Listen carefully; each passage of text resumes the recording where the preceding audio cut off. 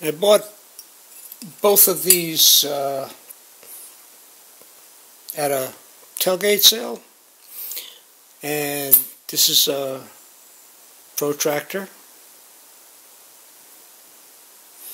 and this is a center square.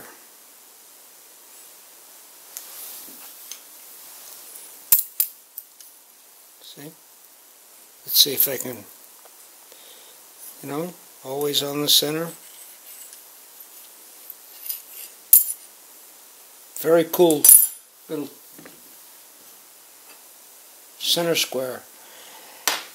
Anyway, they were covered in rust because they had been in contact with some other tools, maybe steel, whatever, but they were covered in rust. And I'm going to show you how I cleaned them up.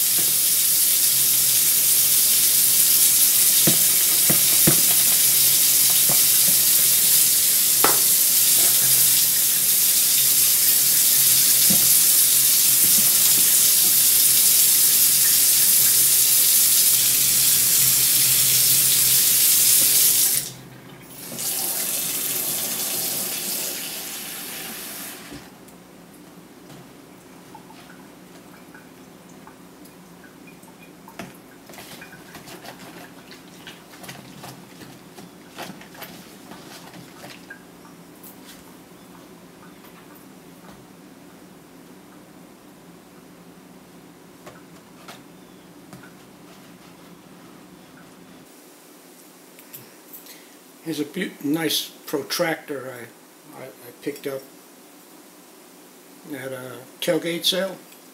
But the there's a lot of rust on it. Must have been in contact with some other metals. It's like, uh, I believe this is stainless steel, but there's a lot of rust on it and I'm going to clean it off. Took it apart, I'm going to put it into the solution. Nope, this doesn't fit. and I'm going to transfer the solution to something bigger so I can fit all the pieces.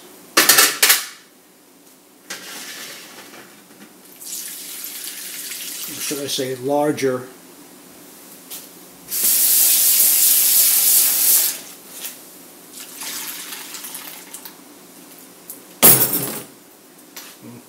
Now I can put that in there too.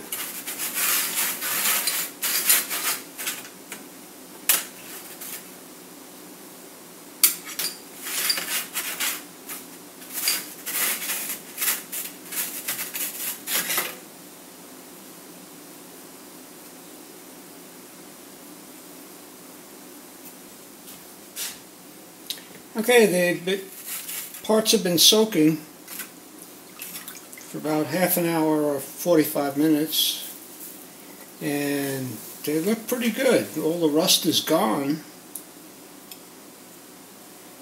I'm just going to uh, take a Scotch-Brite pad and kind of just wipe over it a little bit.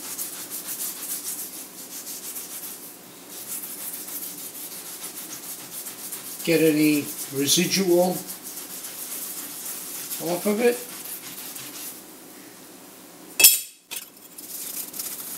Alright, looks. See? Yep, and more.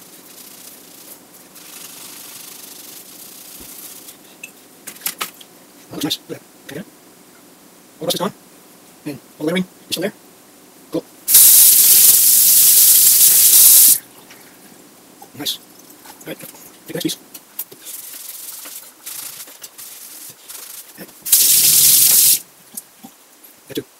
Very nice. Okay.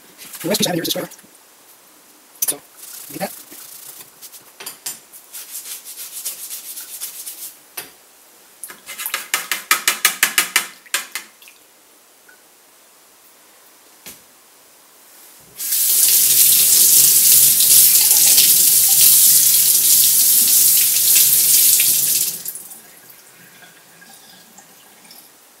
That came out pretty nice also. No more rust. There's a few spots, but clearly that's that's acceptable to me. Okay, so now mm, clean them off, wipe them off.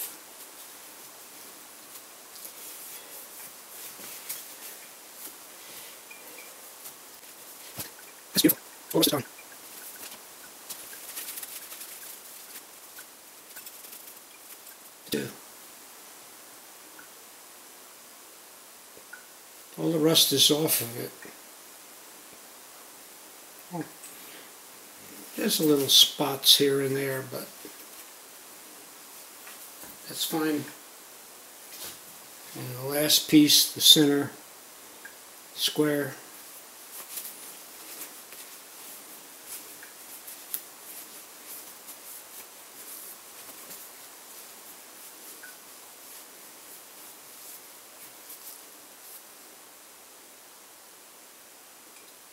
Yeah. Good. I like the way it came out. Okay. We'll see you on the next video.